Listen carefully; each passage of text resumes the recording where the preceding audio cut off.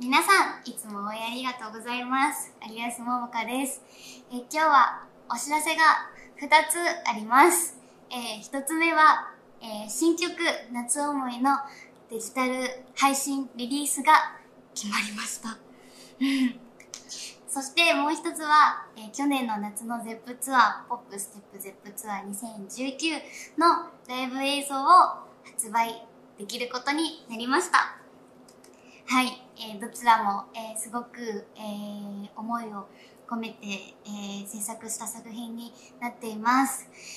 えーっと、そうですね。とにかく皆さんに、えーたくさんいっぱい聞いてみていただきたい、えー作品たちになっているので、ぜひ、えー発売をお楽しみに。